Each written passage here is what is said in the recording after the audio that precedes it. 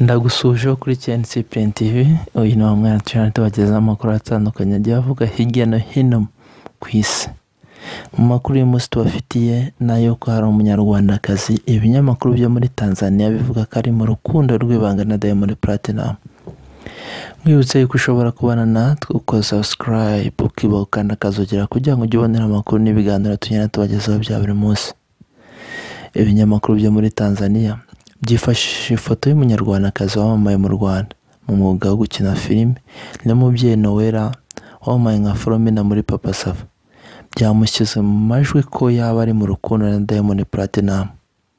Ni inkuru kandi Nowela yisobanuyemo ku binyamakuru byo mu Rwanda.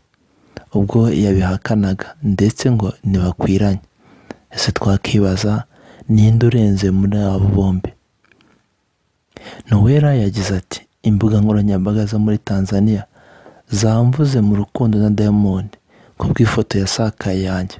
Aha ntabwo namwemera ariko nawe birashoboka gusa. Njye ntabwo nabijyamo. Ikindi sinavuga ko ari umugabo w'inzozi zanjye z'ejo hazaza. Uyu mukobwa kandi uvugwa mu rukundo ni umukinnyi wa filimi Papa Sava. Hari n'amakuru avuga ko baba bitegura ubukwe mu mpera z'ukuboza uyu mwaka.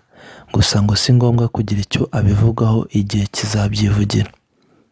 Uyu mukobwa mu buzima busanzwe ngo akunda umugabo wiyubaha uzi imana uzi kubana yiyubaha kandi yakira uwo ari we wese n'ibindi.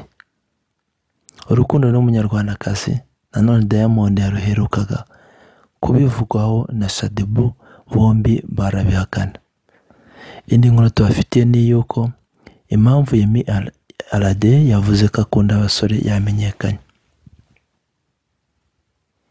Ku wa makumyabiri na karindwi gicurasi bibiri na cumi na karindwi umuririmbyikazi wo muri nigeria uzwi nka Yemi Alade abantu bibaza icyo yashakaga kumenyesha birabayobera. Gusa byaje kumenyekana ko yashakaga guteguza indirimbo ye nshya yitwa Boris yasohoye none ku wa makumyabiri n'icyenda gicurasi. Me I like Boris. Njyewe nkunda abahungu. Ni amwe mu magambo atangira igitero cy'indirimbo nshya y'umuhanzikazi Yemi Alade. Akaba ari amagambo yari yavuze mu minsi ibiri ishize bituma ibitangazamakuru byandika maze bitangira gukora urutonde rw'abasore bose bagiye bakundana. N'uyu muhanzikazi ariko byaje kumenyekana ko ari indirimbo nshya yarimo hafi gusohoka.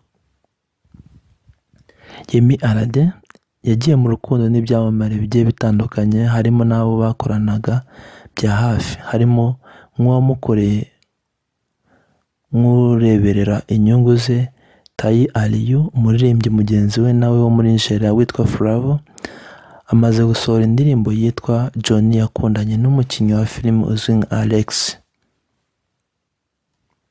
Yemi Alade yavukiye ahitwa Abia muri Nigeria ku wa cumi na gatatu Gicurasi igihumbi kimwe magana cyenda mirongo inani n'icyenda.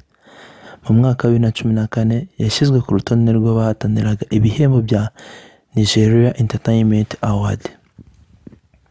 Mwakoze gukurikirana NCPN TV mbibutse ko mushobora kubana natwe muko subscribe mukibuka gukanda akazugira kugira ngo mujye mubonera amakuru n'ibiganiro tunyura tubagezaho bya buri munsi. NCPN TV turabakunda.